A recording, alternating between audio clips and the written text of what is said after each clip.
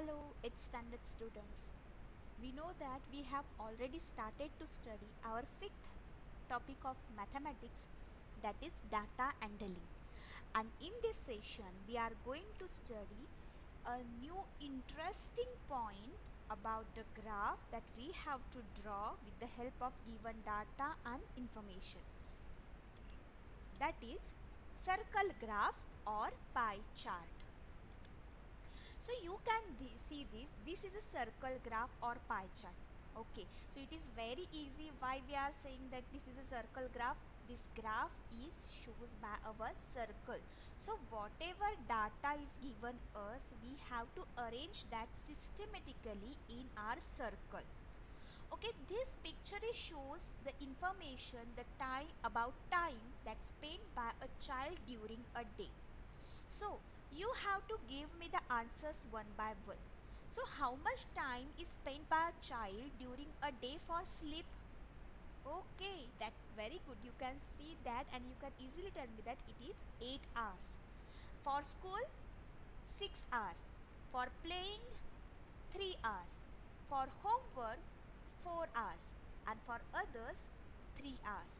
So as like that, your time, your daily time table should be like that you have to you you are spending your time uh, nearby 6 hours in schools. You are taking sleep for 8 hours okay? So you have to give your time about nearby 4 hours to do your uh, homework or to do your reading or writing.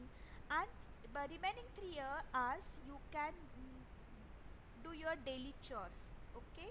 And 3 hours for playing. It is not less time na? It is right? So as like that any data we can arrange that in a circle. Okay? So now look at here. This is my another circle chart or pie chart.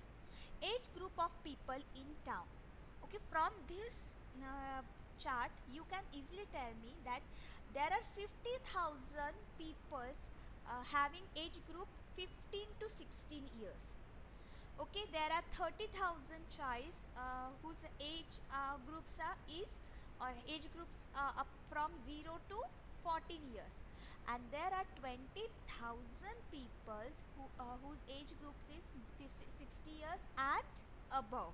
Okay so uh, as compared to other graph the circle graph is easy for the reading. So these are called circle graphs a circle graph shows the relationship between a whole and its parts. Here the whole circle is divided into sectors. The size of each sector is proportional to the activity or information it represents. So whatever data, whatever information will be given to us, we have to arrange it systematically we have to organize it and we have to represent it in a circle chart. So circle graph is also called a pie chart. So uh, we will take our first chart that that shows the time spent by a child during a day. Okay. So in the graph the proportion of the sector for hours spent in sleeping is 8 hours. So we know that uh, our day consists 24 hours. So out of the 24 hours it's uh, the child spending its time nearby 8 hours for sleeping. So numbers of sleeping hours divided by whole day uh, when uh, exam will be taken and uh, you get your marks what you uh, tell to your parents um, mama or dad i get 39 out of 40 so uh, from that your parents will be uh, realize that the total marks of paper is of 40 marks and you get 39 marks. So as like that we, uh, when we are finding the proportion of any data we have to divide it by the whole number of whole data. So we are taking here number of data of sleeping hours divided by whole day. That is 8 hours upon 24 hours. 8 hours for the sleeping and 24 hours of whole day. So 8 ones are 8 8 through 8 threes are 24 4 8 ones are 8 8 threes are 24 so my answer is 1 upon 3 so this, this sector is drawn as one third part of the circle.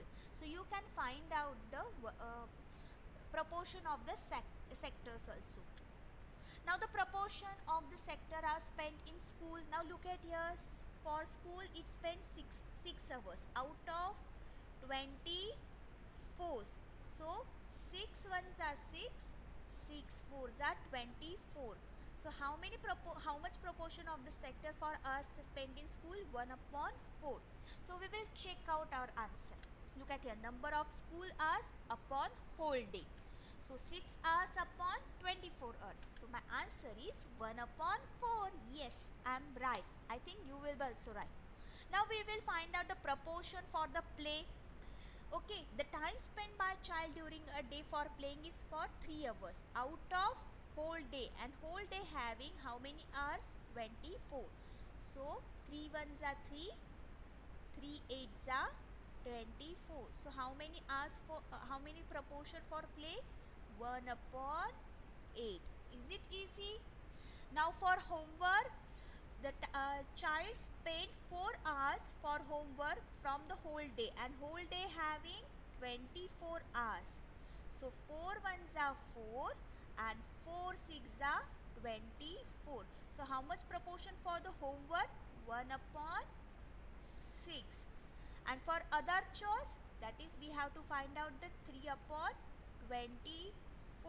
So 3 ones are 3, 3 eights are 24 so for the others we are uh, that child is using 1 upon 8 proportion of the whole day.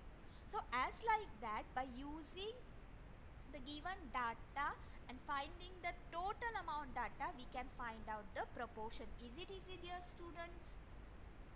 Yes. Now we will move we will move forward this is my another pie chart which shows the viewers watching different by types of channels on TV. Okay. So, um, little bit more than 50% uh, you um, watching uh, TV for the entertainment, entertainment 25% people watching for the sports, 15% uh, people watching news and 10% people watching informative. So with the help of this we can answer the questions based on the pie chart. So which type of the programs are viewed the most? You can easily tell us that because as compared to this 10, 15 and 25 the 50 is more greater number.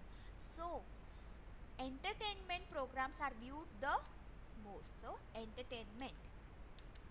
So this is our third chart. Okay. In this adjoining pie chart gives the expenditure in percentage on various items and savings of family during a month. Okay, so we will read this pie chart for the once again. Now we will see. Look at here. Look at my cursor. Okay, look at my cursor. Um, okay, uh, out of his total uh, payment, uh, total salary or total income, he uh, spend 15% or uh, it's um, uh, expend 15% is expenditure for education and children. 25% expenditure on food 10% for clothes 15% for savings 20% for others 5% for transport and house rent for 10% now you can see this, this 25 is the greater number as compared to other numbers. So you you can see uh, easily you can find out the uh, at what uh, on what items and sa uh, savings he spent um, lots of on which item. So uh, he gives more expenditure on food and less on transport because it uh, shows only 5% expenditure. And you can see this 25% uh, for the food it acquires more place in the pie chart. And transport acquire less space in the pie chart as compared to others. So as like that you have to read your pie chart and uh, or circle uh, chart okay? And now we will give the answer of our question. On which item the expenditure was maximum?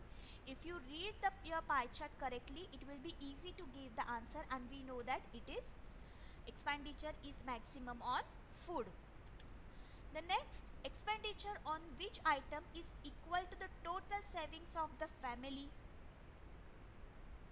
Okay now look at here. Expenditure on the education of children is the same as the savings of the family. Okay now look at here. Look at my cur uh, cursor. Saving 15% and education for children 15% so this 15% and 15% shows same.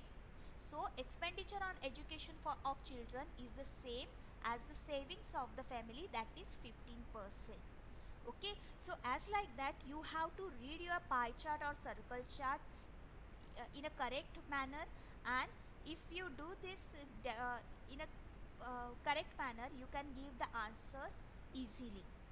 Now look at here. Now we will see study. Now we will study how to draw a pie chart. Okay? So let's go. We will study drawing of pie chart